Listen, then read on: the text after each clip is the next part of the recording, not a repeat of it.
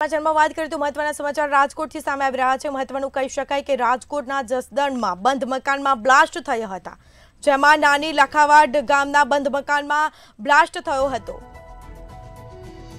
Blast થતા ગામમાં નાસભાગ મચી જવા પામી હતી ફાયર બ્રિગેડને જાણ કરતા ફાયર કાફલો ઘટના સ્થળે દોડી આવ્યો હતો જે બાદ ઘટના સ્થળે લોકોના ટોળે ટોળા પણ ઉમટ્યા હતા રાજકોટના જસદણમાં બંધ મકાનમાં બ્લાસ્ટ થયો હતો નાની લાખાવડ ગામના બંધ મકાનમાં બ્લાસ્ટ થયો હતો ઘટનાને સ્થળે લોકોના ટોળે ટોળા પણ ઉમટ્યા પડ્યા ઉમટ્યા હતા જે બાદ મકાનમાં કોઈ ન હોવાથી મોટી ઘટના ટળી હતી નાની લાખાવડ ગામના બંધ મકાનમાં બ્લાસ્ટ થયો હતો બ્લાસ્ટ થતા ગામમાં નાસભાગ મચી જવા પામી હતી વધુ વિગતો સાથે સંવાદદાતા કરસન બામટા આપણી સાથે ફોન લાઈન પર જોડાઈ ગયા છે. જી, રાજકોટના જસદણમાં બંધ મકાનમાં બ્લાસ્ટ થયો હતો. શું છે વધુ વિગતો?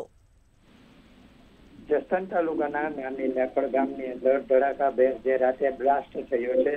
જેને લઈને નાના એવા ગામમાં હાહાકાર મચી ગયો છે. ત્યારે બંધ મકાનના જે બ્લાસ્ટ થયો છે, ત્યારે ગામ આખામાં જ્યારે ઘટના સ્થળે જસદણથી ફાયર બ્રિગેડની ટીમ પહોંચી હતી તેમજ જસદણ પોલીસ અને તેમજ મામલતદારની ટીમ પણ ઘટના સ્થળે પહોંચી ગઈ છે અને ઘટના સ્થળે લોકોના ટોળા ટોળા ઉમટી પડ્યા હતા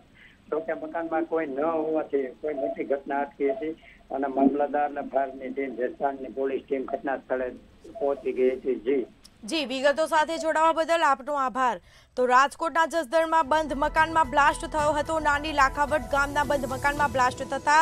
ગામમાં નાસભાગ મચી જવા પામી હતી ફાયર બ્રિગેડને જાણ કરવામાં આવી હતી જે બાદ ફાયર કાફલો તુરંત ઘટના સ્થળે દોડી આવ્યો હતો